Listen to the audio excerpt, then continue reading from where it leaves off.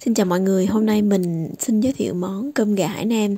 À, món này thì rất là đơn giản, mình nghĩ ai cũng có thể làm được.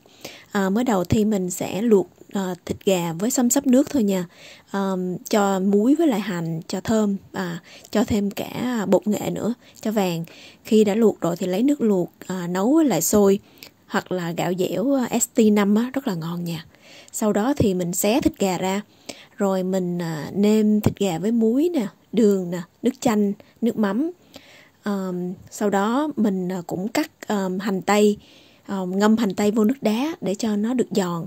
Sau đó thì mình trộn thịt nè với lại um, hành tây với lại dưa leo với lại uh, lá um, húng quế húng lủi cho nó thơm. Um, nêm nếm thêm lần nữa để cho uh, thịt um, có nước mắm chua ngọt nha sau đó thì à, nấu à, cho nấu cơm xong rồi thì cho cho cơm ra đĩa xong rồi cho um, à, cho gỏi lên cho um, hành phi với lại à, một tí xíu uh, ớt nếu ai có thể ăn cay. Đó, thì cái món này mình nghĩ rất là đơn giản à, nhưng mà hơi béo bởi vì à, gà thì rất là nhiều mỡ.